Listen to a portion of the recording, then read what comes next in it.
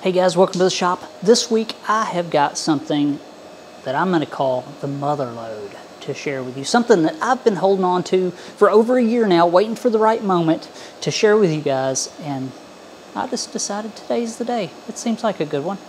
So we're going to share that with you. I've never seen a bigger, a bigger haul in my life of these particular items on YouTube ever. They may exist, but I haven't seen them. So I'm going to share that with you. But first, we've got a little bit of shop work to do, and that is fixing the Dake press. It's got some annoying issues, right, that I've been dealing with ever since I got this thing, and I've been too lazy to fix it. But today's the day. So let's break into this. I'll show you what's wrong with it. We'll get it repaired, and then I will share with you the mother load. So the repair that needs done to this Dake press is pretty simple really, and it's needed this ever since that I got it. It's been broken for who knows how long. What is broken is the cable lift system that raises and lowers this table. At some point in this press's life, I think somebody has tried to raise the table up without the, you know, they pulled the pins, they've raised the table up, and I think they've tried to press on something just by the support of these uh, two steel cables and that didn't go so well and uh, broke one of the cables, bent one of the pulley supports, and moving this table up and down without this cable system, it's kind of a pain. It can be done, but I find myself not doing it and running this ram down way farther than it should to get to the items that I'm pressing on, and I just don't think that's a good idea. We need to fix the problem so I can use this thing, you know, properly. In my opinion, this press is absolutely awesome. I love everything about it. I really do patina, its heritage, you know, its size. Just an awesome press, and I want to get it functioning the way that it should.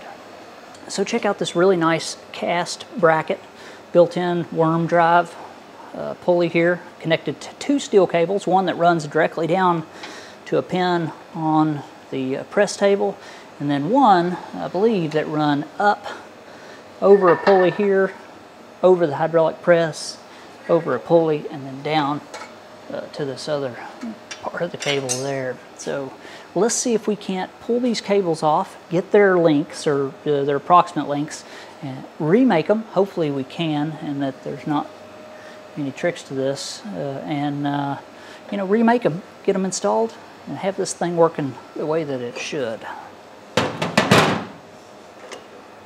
So a lot of you guys may remember not too long ago in this place here where this press sits, I had a 50 ton. It was a Harbor Freight press. That's not going to work. Uh, I ended up letting my brother use that in his shop. I didn't need two presses. The press that was here, the big red one, you know, it functioned fine. There was nothing wrong with it. It it was a little bit on the large side. It was a 50 ton press. And once I got this one, you know, I didn't need two presses in the shop. So I just uh, let my brother use that in his, because uh, his shop, because he didn't have one. So this is my only shop press now, and that is uh, another big reason why I want to get this cable lift system repaired.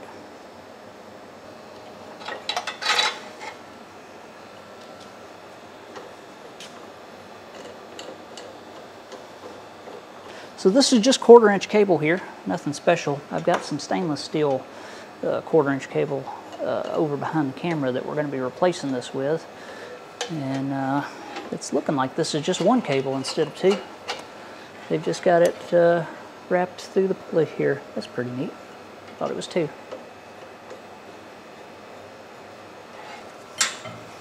Okay, pretty neat. They just routed that right through through the middle.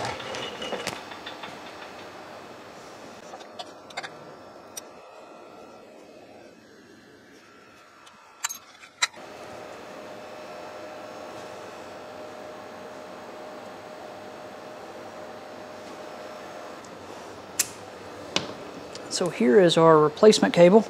It's stainless, quarter inch.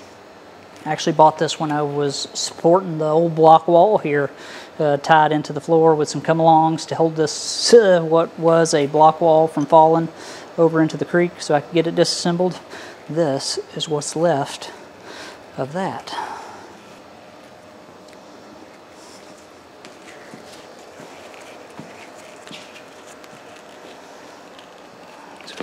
Probably about right here. We'll put some tape on this.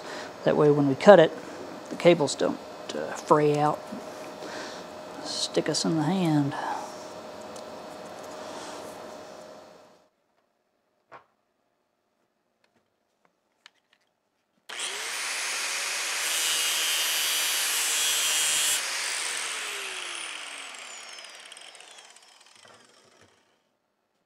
So if you guys look up here, you'll see a pulley and it's just supported by a bolt. And I believe that it's not captured, so it can just self-center wherever this cable really wants to ride.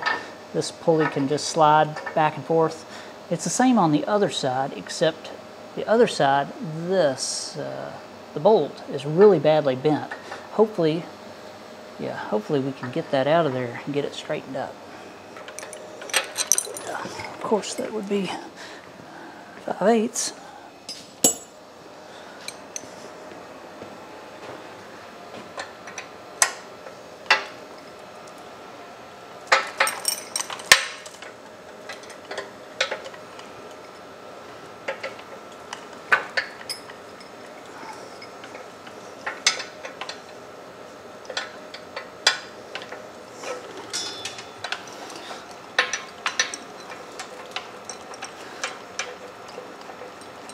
So this is old uh, uh, square-headed hardware. Pretty neat. And I'm sure this has probably never been out, at least since since this thing's been a press. Wow, that thing's bent. Hopefully we can straighten that up. I'd like to keep that if I can. So I would say that that's pretty bent. If only we had a good way to put pressure on the bent areas in a focused way, right? We could straighten that out.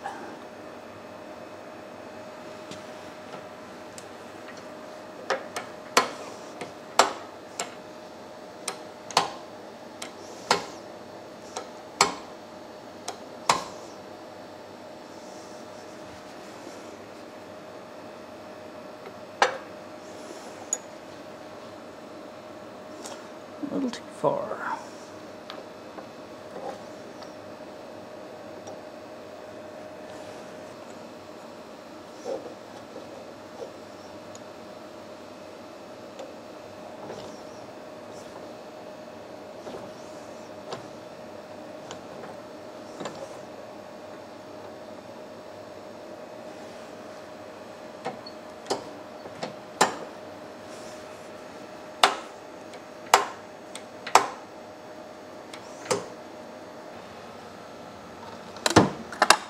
There we go, 3 8 16. Where's the 3 8 16? Surely there's one in here. 3 8 24.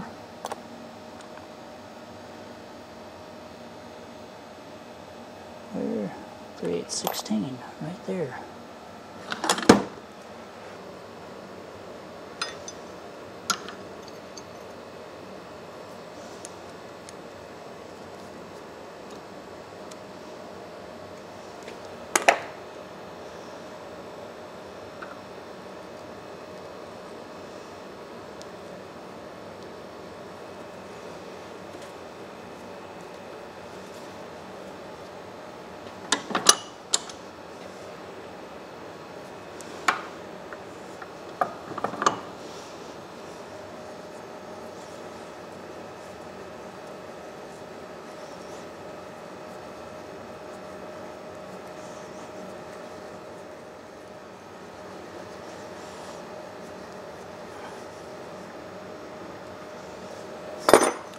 There we go. Far from perfect, but it's usable.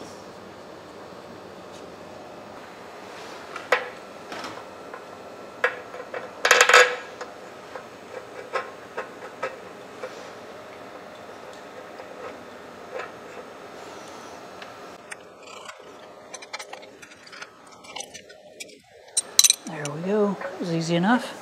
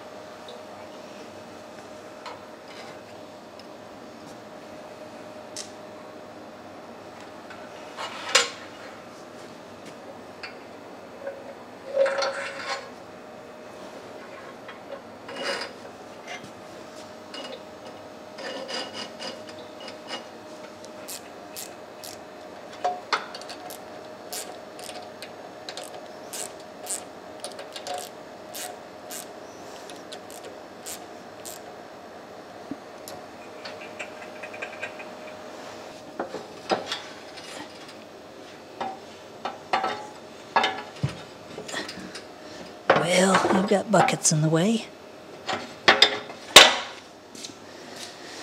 Goodness.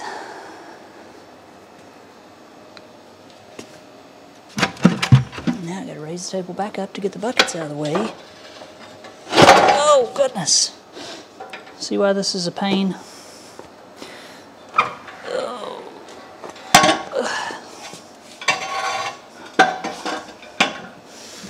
Probably wouldn't have so much stuff in the way.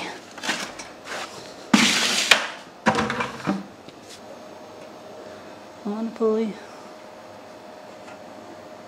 On the pulley. All right, now I'll attach this one.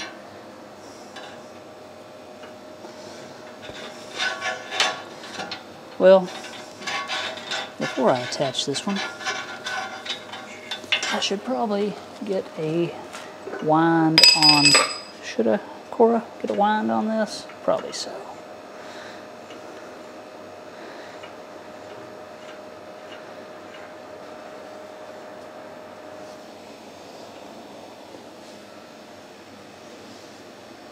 Okay, now let's hook it up.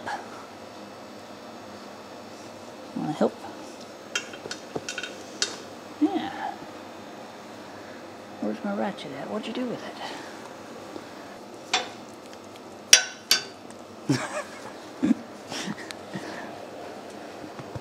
Here, stand right there, okay? Just, just right there, that's fine. Yeah, okay.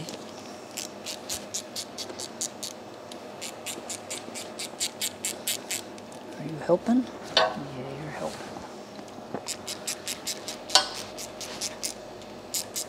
There we go. We got it, didn't we, girl? I think we got it. Should we raise the table and see if it works? Hmm? We should, should we? Yeah, we should. All right, so I guess it's the moment of truth, and I would, I would guess this hasn't worked probably longer than I've been on this planet. Look at that.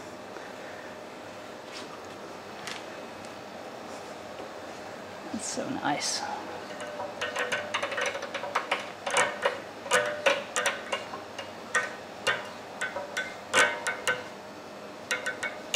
Working just like it should. I like the way, because it's a worm drive, it won't go, go backwards. There's no lock needed.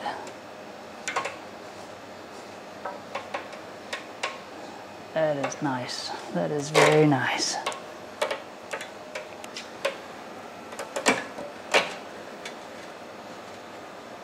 Look at that.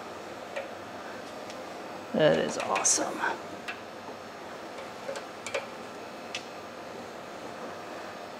Well, we fixed it, guys. We fixed it.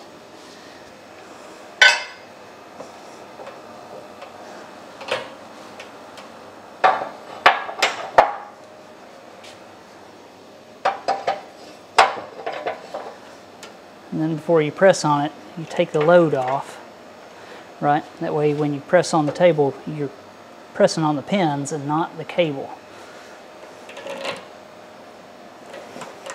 Lower it, lift it up, pull the pins. Lower it down.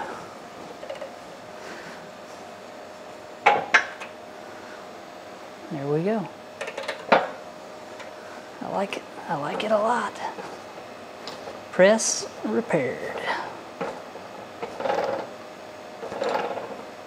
All right, so I have been saving these for well over a year. Now keep in mind this is only half of what I've got. The other half I have opened, but I figured I would save this this lot uh, so we could open them together as close to as live as possible. I guess I'll show you the other the other lot of items that I got as well. Now, let me first, before we open these, say that this is not at all a bragging session.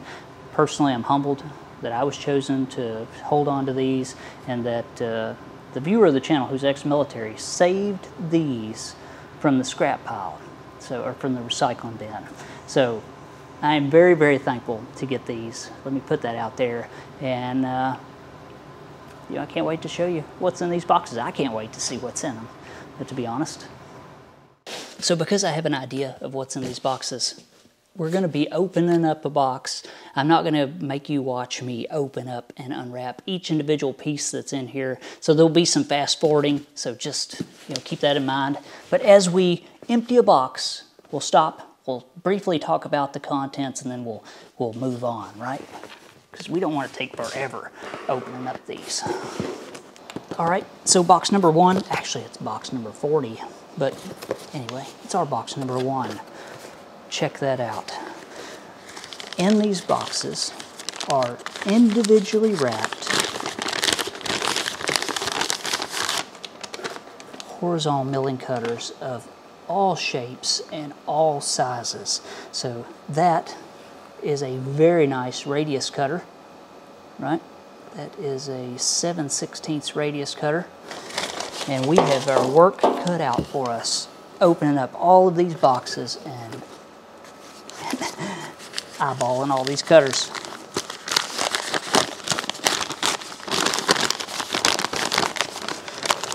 Another radius cutter.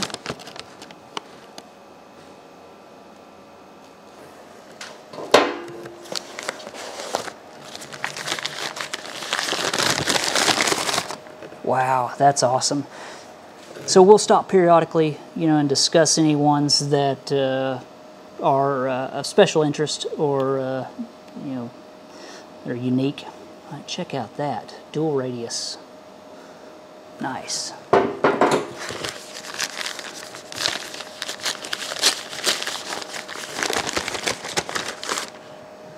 So there's a theme to this box. Just like there was a theme to the boxes that I'd opened in the past, uh, the gentleman who packaged these went through a lot of effort to make sure that these did not get damaged and that they were kept in boxes of like cutters. So I have no doubt that basically all the cutters in this box, or at least the vast majority of them, are going to be very similar to this, radius cutters. Just, it's amazing that this stuff still exists and I am, like I said, humbled to get to hold on to these things.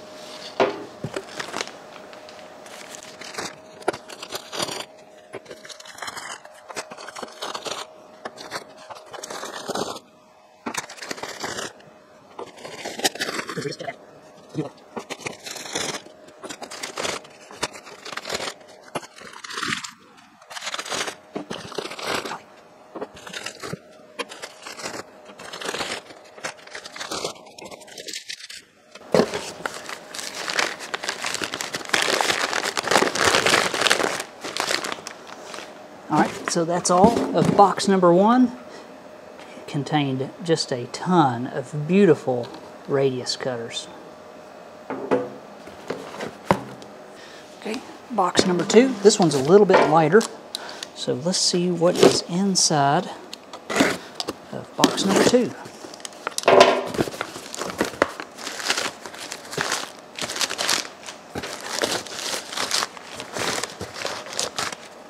Oh wow this appears to be slitting saws. That's a Brown and Sharpe manufacturing. It's a 6 and 3 30 seconds. 6 by 3 30, 3 30 seconds. So it's a it's a it's a bunch of slitting saws, a whole bunch. There's some different cutters here.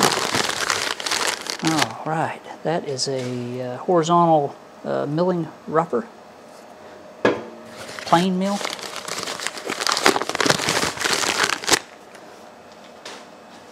Man, these, I have not run up on a cutter that has been in bad shape as far as the teeth go. Everyone has been, you know, extremely sharp, uh, good used condition.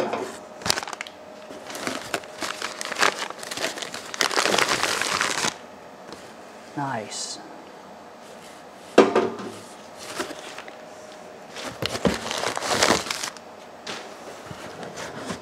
Goodness gracious.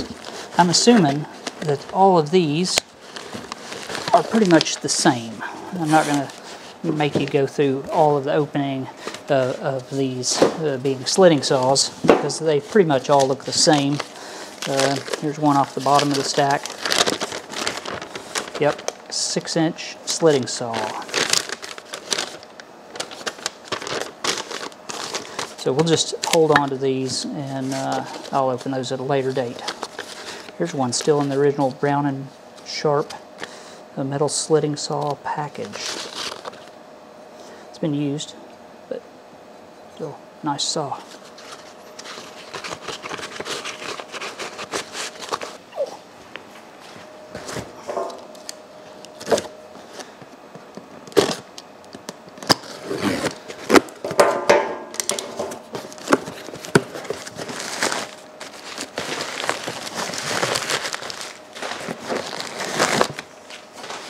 Okay, so this box contains, looks like another stack of slitting saws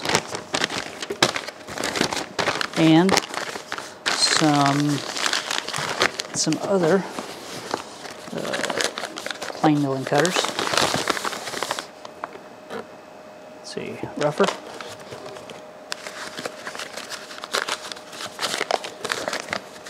Sorry, I'm trying to do this as fast as possible. Regular.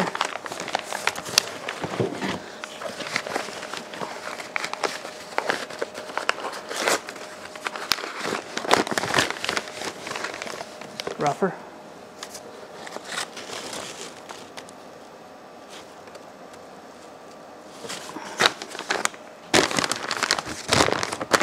These are, no, there's a couple larger ones down here larger one.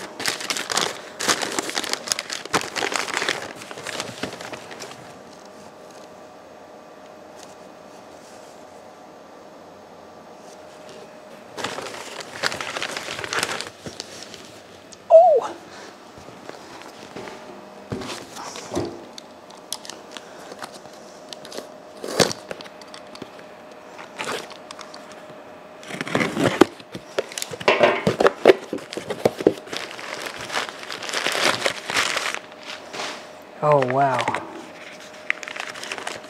This is a bunch of small cutters. Awesome little cutter.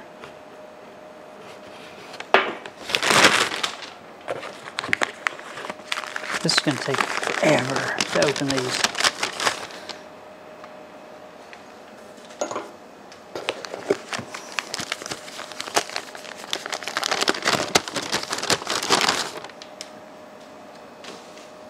custom cutter. Somebody's ground that for, I don't know, uh, some special use. You see that quite often. You know, the manufacturers of these cutters may not make the cutter that you need, so the the tool and die guy, or not tool and die, tool and cutter grinder uh, that most shops would have had back then, that guy would have ground a specific cutter for the needs of the manufacturing.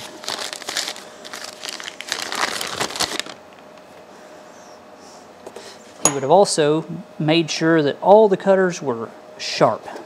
Right, these came from uh, the U.S. military, and uh, that's why I believe almost every cutter that I've seen out of all of these cutters that I've got uh, were ready to use, basically, sharp-wise. You know, they didn't burn one up and stick it back on the shelf. They had to be ready to use at all times.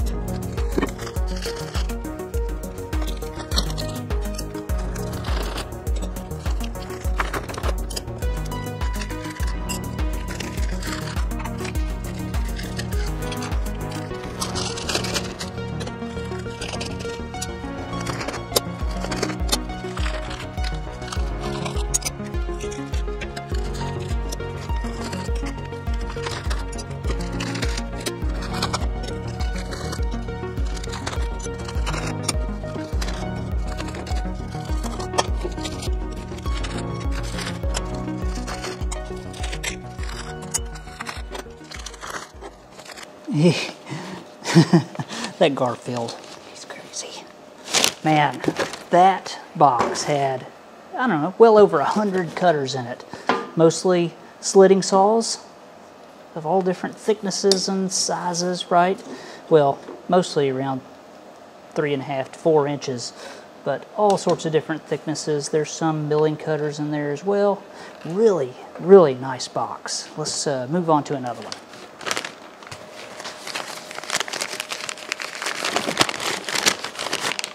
Wow, just a ton of radius cutters.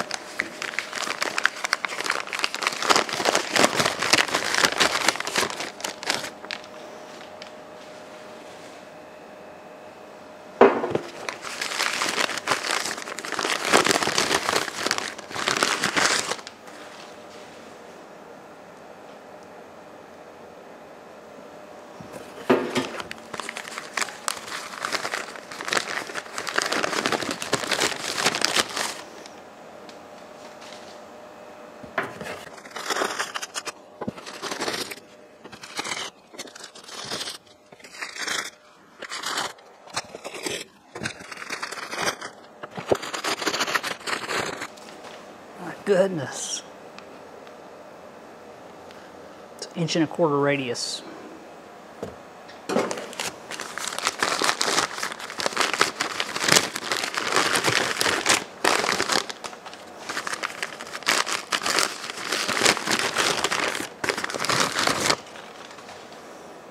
It's an inch and three eighths. What a cutter.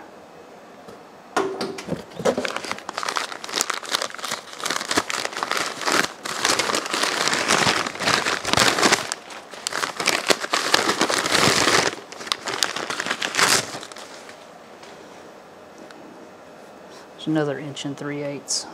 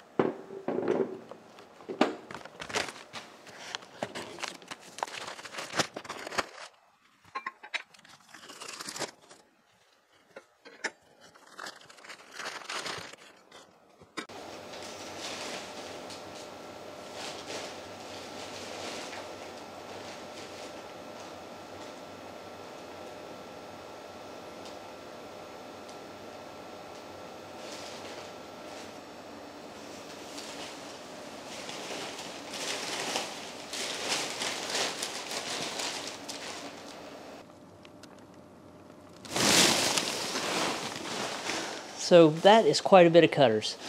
And if I was going to guess, oh wait, I mean, not exaggerating at all, I would say every bit, I don't know, 35,000 pound,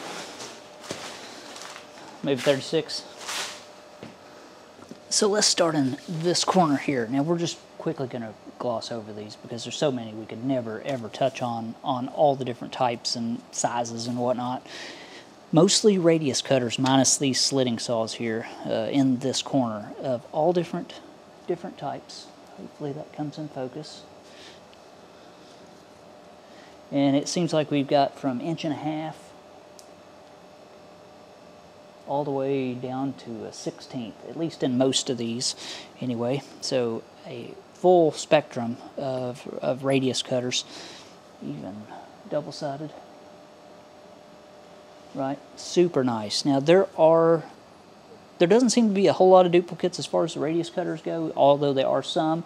There are a ton of slitting saws here, stuff like that.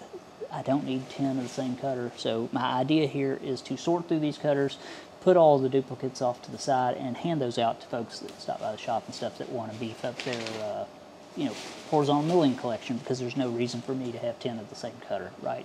I'd much rather see other people enjoy them than them just sit on my shelf uh, collecting dust. So I'm not going to be keeping all these, just, you know, I want to put that out there. But there is a major selection of cutters here. In fact, I mean, it makes sense. This was a, what, this was the cutters that stocked a military machine shop's horizontal mill, and I mean, you know, they would have a cutter for most situations, and it looks like that's what we got here. So radius cutters, slitting saws. Um, let's uh, let's move on, and uh, then I'll show you what I think. Uh, last, I'll show you what I think is the crown jewel or the cutters out of this lot that I'm most excited about. Not that they're not all great, but you get the idea. I've got my favorites. So let's quickly gloss over these boxes right here because these here are your standard type milling cutters that everybody's pretty much seen. Nothing out of the ordinary here. We've got a stagger tooth that looks like a six inch with an inch and a quarter arbor. Uh, pretty nice cutter there. And we've got standard milling cutters like this from, I think, about eight inch, maybe eight and a half, uh, all the way down to uh, what is it? Uh, you know, probably two and a half, three inch. So standard milling cutters for the most part. There are a few unique cutters in here. Here's one right here. Uh, that's just a you know, 90 degree to the table on this side, but 8 degrees on this side. So custom ground for some specific job. You know, the chances of using a cutter like that are pretty slim, but, you know, if you had to make one of those, it'd take you quite some time on the cutter grinder. So, you know, still a a nice cutter. This box here, just uh, um, angled cutters. This is one of two boxes. So they were really outfitted.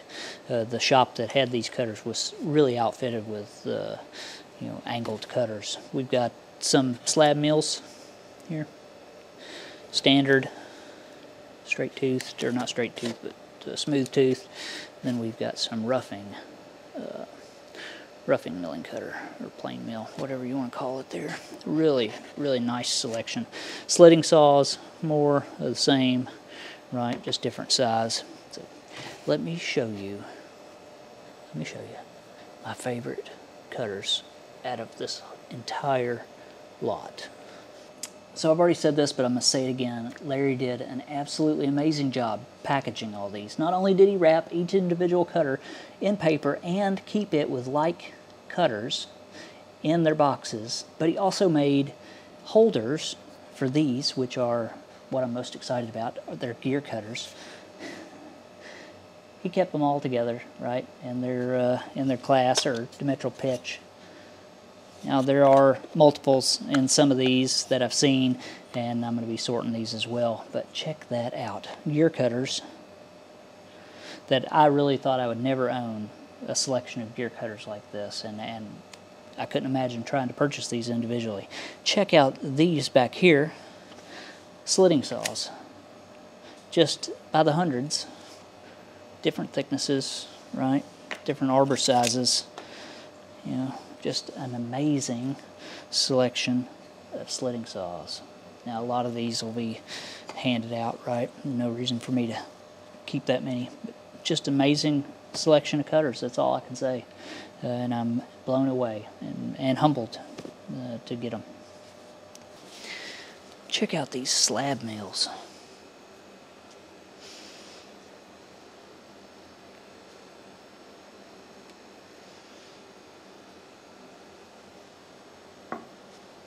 So being as these cutters come out of a U.S. military machine shop and outfitted their horizontal mill, I wouldn't expect anything less than a cutter to cover about any circumstance that you can run into. And when it comes to a horizontal mill, uh, it's dependent a lot on the cutters that you have. So having these really opens up a lot of uh, possibilities for me. And I just can't say thanks enough to Dan and Michelle very wonderful couple who brought these down to me. They actually had to make two trips because it's so much weight, and they did it in a standard passenger car, so you can imagine the weight uh, and the sag on the back of the vehicle uh, just from the weight of these cutters. And not to forget Larry, who saved these from the scrap pile. I couldn't imagine these going to a dumpster. I think about that make about anybody, you know, wince because there is a lot of value here uh, to the machinist community anyway. Although they are, um, you know, yesterday's cutters, that's for sure. Uh, not much value to a lot of shops. Uh, to the one-off shop or the prototyping shop, these still have tremendous value, and uh, and I'm glad that they were saved. So big thanks to Larry for wrapping these in individual packages to paper to keep them safe keeping them in like-minded box or keeping like cutters together, building fixtures or little holders for you know, the gear cutters. Just an amazing amount of effort that he went through to to not only save them, but to make sure that they were uh, in good condition or stayed that way. So that's it. Thanks for watching. Viewers, patrons, subscribers, anybody who's helped me out whatsoever, it is much appreciated. And uh, I'll see you next time. Ain't that right, girl? Let's go to the house. Come on. Careful.